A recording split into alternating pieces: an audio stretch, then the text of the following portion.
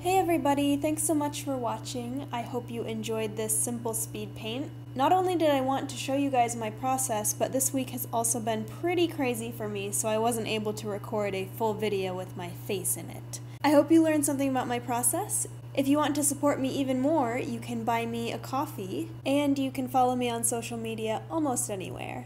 Again, thanks so much for watching, and until next time, guys, best of luck.